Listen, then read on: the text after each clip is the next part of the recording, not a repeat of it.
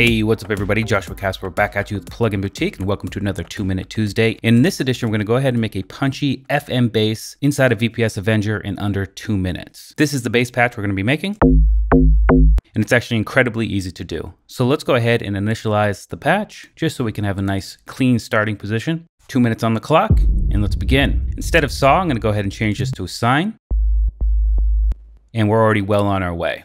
The next thing I want to do is come down to the mod envelope and take mod envelope one and drag and drop it onto the FM control.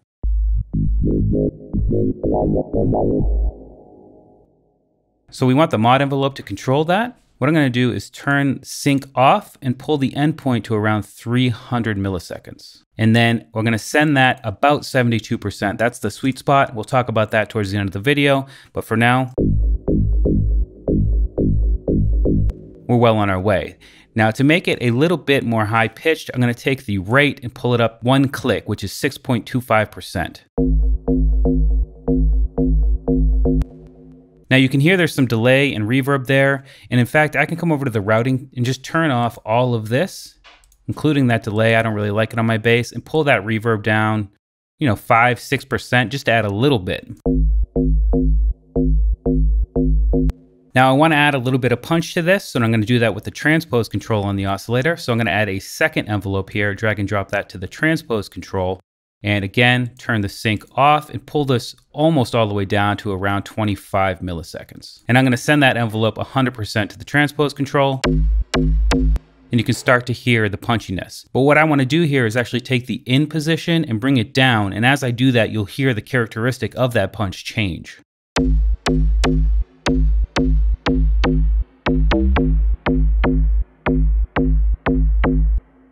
I think right around there sounds pretty good. And really the last thing to do here is to go ahead and just pull up the release time a little bit.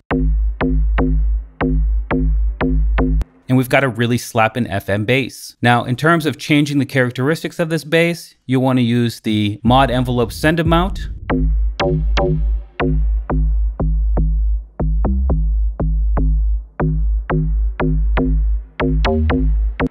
For me, right around 72% is the sweet spot, but if you're looking for something a little bit darker, going below there will give you a really nice result as well. And also changing the characteristic of that punchiness will change the characteristic of the bass too.